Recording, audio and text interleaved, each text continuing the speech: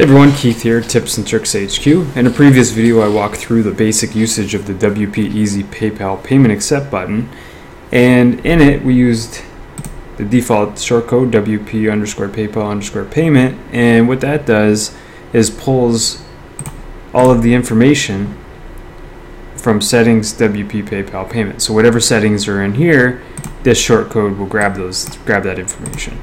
But if we wanted to override any of these so that we can we can have multiple boxes throughout the website, and I'll show you what this one looks like here first, really quick.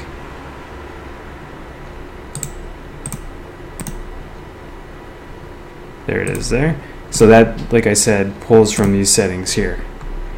So if we wanted to create another box um, for a different payment and provide custom values for this for the shortcode, I'll show you how to do that here. We can look at um, the different options. So we could pass in a different PayPal email address if we wanted to um, allow payment for somebody else, for somebody else's PayPal, for example.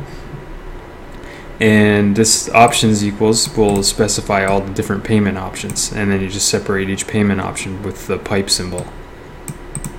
And if you wanted to provide the option so that um, the buyer could specify their own payment, their own option, their own choice on how much they want to pay, then you would turn on other amount. So other underscore amount equals true will go in that short code. And the buyer will be able to specify an amount rather than choose from this list. And also, if you want to override the currency, um, the default will be US dollars, but you can specify a different currency. And you can also specify a different thank you page um, for each of the boxes. And if you want to ask for different information, um, in this case, we're asking for the the, the the buyer's email address, so we can change this and ask for something else. All right, so let's take a look at to see what that looks like on the page.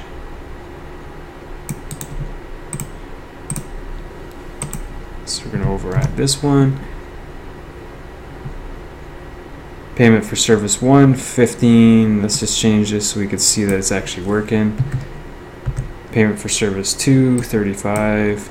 And payment for service 3, $97. So let's click on update.